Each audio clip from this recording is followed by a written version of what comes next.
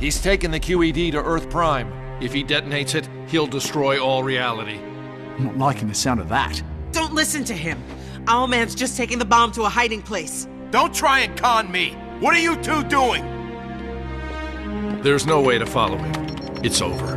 Not yet. How many sets of coordinates does this thing keep in its memory? The last dozen or so, but That's more than enough.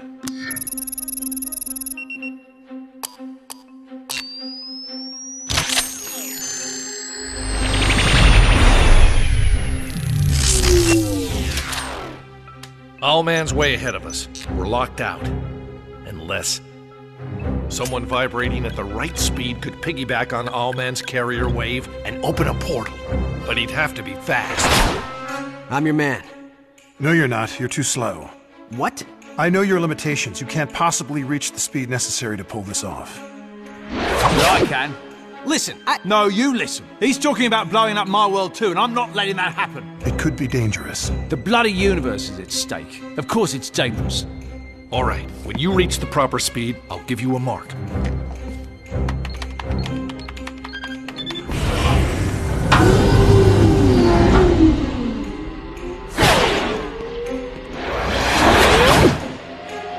You have to hold that speed precisely. Got it?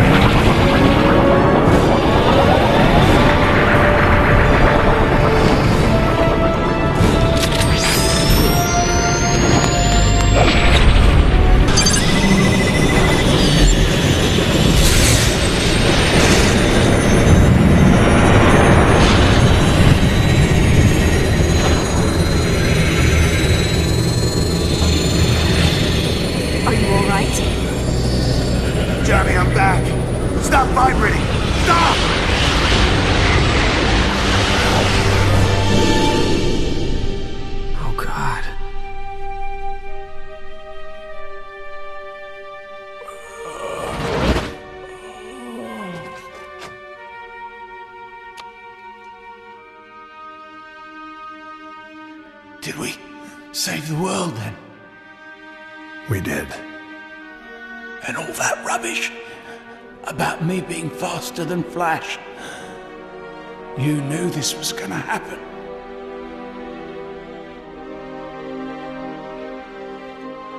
Good one, mate.